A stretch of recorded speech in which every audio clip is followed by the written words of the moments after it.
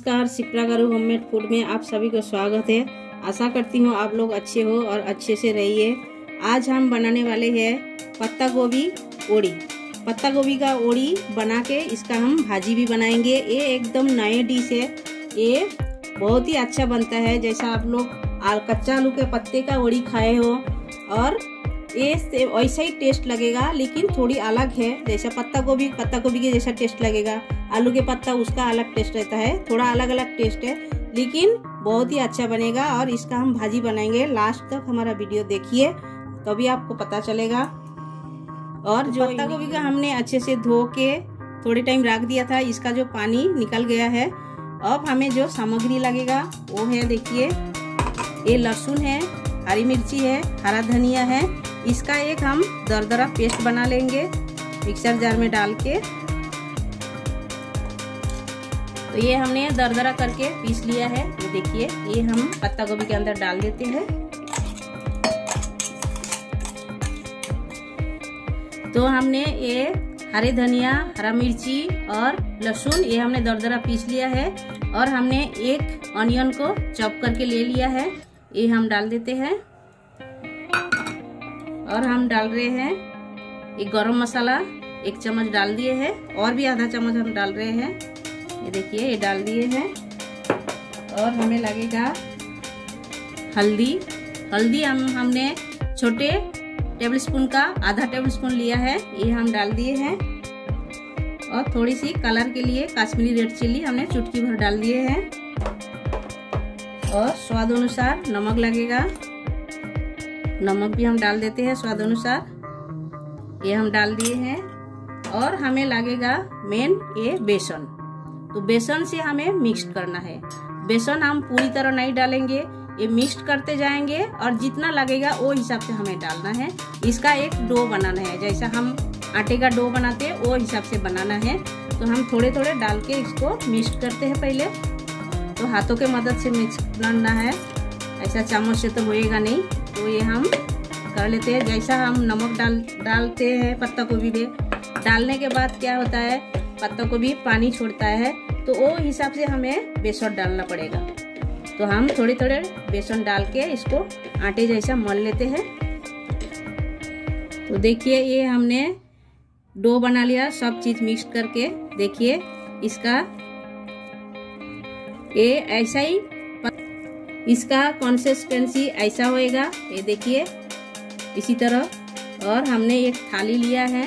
देखिए, ये थाली ये थाली में हमने तेल रखा है और तेल हम ब्रश कर देते हैं पूरी तरह अच्छे से। और ब्रश करके तेल इसके अंदर हम वो जो डो बनाया है, पत्ता गोभी का बेसन डाल के, ये हम इसके अंदर रखेंगे अच्छे से। फिर उसके बाद हम भाप में पकाएँगे। ये हमने कढ़ाई रखा है, आप देख सकते हो। कढ़ाई के ऊपर हमने एक वाटी रखा है, फिर उसके ऊपर हम थाली रखेंगे। तो पहले हम थाली में डाल लेते हैं। तो ये देखिए, ये हमने थाली के अंदर रख दिया है, ऐसे ही। ये देखिए, और अभी हम गर्म पानी करते हैं, फिर उसके ऊपर हम ये थाली रखेंगे, फिर उसके ऊपर एक ढक्कन रखेंगे। तो देखिए, हमने गैस पे कढ़ाई रख दिया है, और कढ़ाई के ऊपर हम एक थाली रख देते हैं। देखिए। नीचे हमने एक वाटी रखा, उसके ऊपर हमने थाली रखा, और ये ढक्कन लगा देते हैं, और पाँच मिनट के लिए हम छोड़ देते हैं। तो ढक्कन हटा के देखते हैं, पाँच मिनट हो गया है। ये देखिए, एकदम पूरी तरह हो गया है। ये देखिए, हाथ में नहीं लग रहा है, एकदम अच्छे से हो गया है। अब हम निकाल के इसको ठंडा कर लेते हैं। तो आप देख सकते हो, ये ठंडे हो गया है। हमने ऐसा लाइन करके, ये देखिए, काट लिया है। और हम स्क्वायर साइज़ में हम काट लेते हैं स्क्वायर में। तो देखिए ये हमने ऐसा पीसेस करके काट लिया है। फिर हम ये सेलो फ्राई करते हैं, उसके बाद सब्ज़ी बनाएँगे। तो हमने एक पैन बिठा दिया है और उसमें हमने एक चम्मच तेल डाल दिया है। तो हम सेलो फ्राई कर रहे हैं, डाल देते हैं।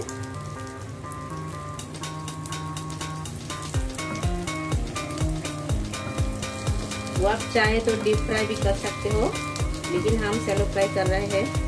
तो इसमें बहुत ही अच्छा लगता है ये। ये डिशेस एकदम नए हैं, आप घर पे एक बार ट्राई कीजिए ज़रूर। बहुत ही अच्छा बनता है। देखिए, एक बार जो लाल हो गया है, ऐसा पलट देते हैं हम। देखिए, इसी तरह लाल करके फ्राई करके लेना है।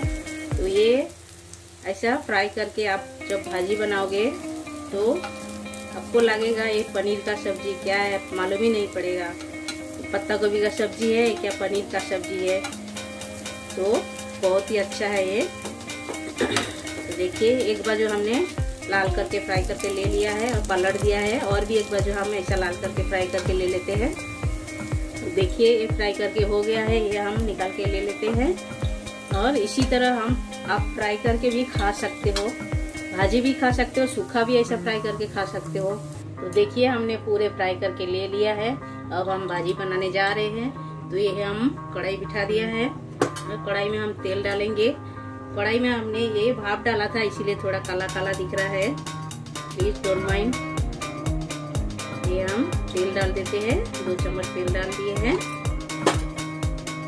तेल हमारी गर्म हो गया है। अब हम डालते हैं। ये देखिए, ये हमने दो तेज पत्ता लिया है। थोड़ी सी टुकड़े हमने दालचीनी लिया है और दो छोटा इलायची, दो लवंग, चुटकी भर जीरा। ये हम डाल देते हैं।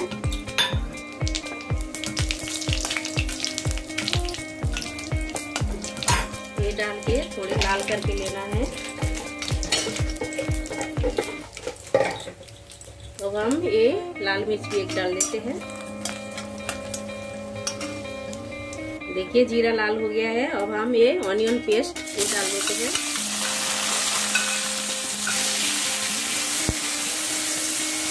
एक ऑनियन को हमने पेस्ट करके लिया है। ये थोड़ी सी गोल्डन कलर में हमें भूनना है।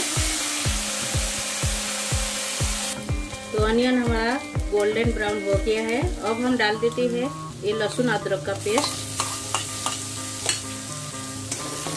ये डाल के भी गोल्डन ब्राउन करके भूनना है मसाला को।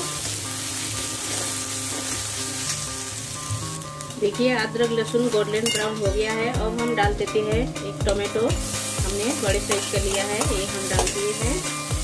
ये भी डाल के टमाटो को अच्छी तरह गलाना है। और हम थोड़े से मसाला का पानी भी डाल देते हैं, जैसे मसाला जले नहीं और हमें सूखी मसाला भी ऐड करना है इसमें।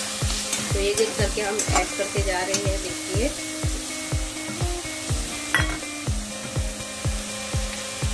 तो ये हमने गरम मसाला एक टेबल स्पून डाल दिए हैं। अब हम डाल रहे हैं ये red chilli powder one tablespoon ये हम डाल दिए हैं। और काश्मीरी रेड चिल्ली पाउडर ये भी हम डाल दिए हैं वन टेबल स्पून और चुटकी भर हल्दी, ये डाल दिए हैं। धनिया पाउडर ये भी हम वन टेबल स्पून डाल दिए हैं। और जीरा पाउडर हमने ये चुटकी भर डाल दिए हैं। तो ये डाल के मसाला को अच्छी तरह लाल करके भूनना है।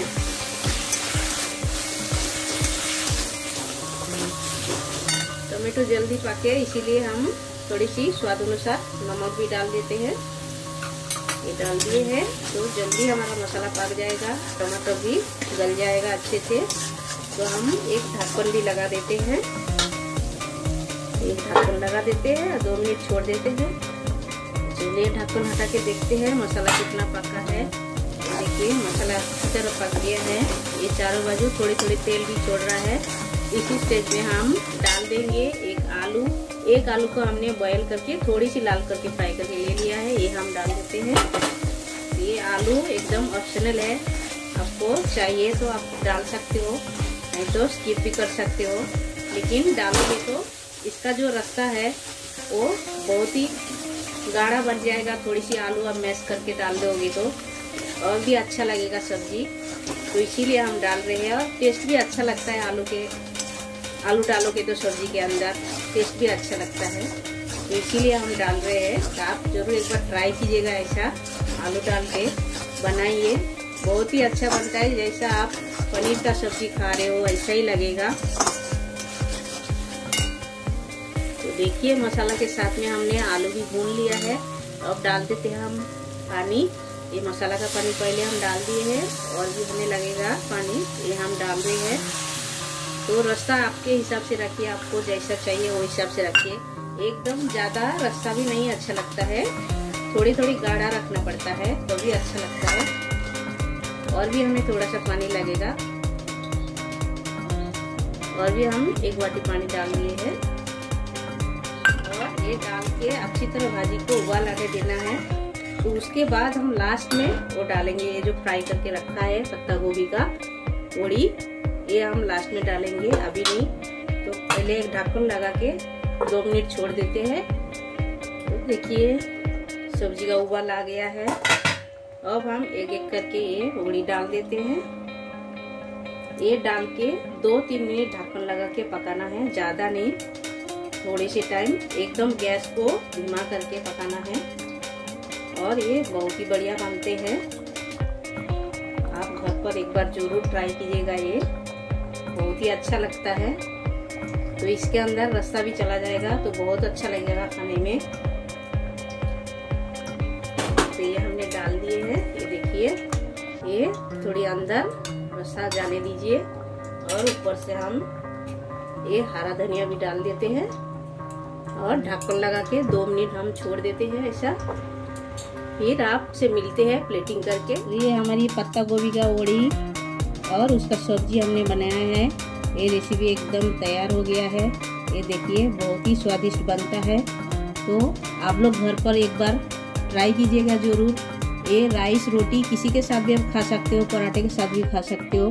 तो हमारा वीडियो अच्छा लगा तो लाइक कीजिए शेयर कीजिए सब्सक्राइब कीजिए। साइड में जो बेल बटन है, वो भी प्रेस कर दीजिए। जब भी मैं नए नए डिशेज़ आपके साथ शेयर करूँगी, आपको तुरंत मिल जाएगा देखने के लिए। हमारा साथ हमारा वीडियो देखने के लिए शुक्रिया।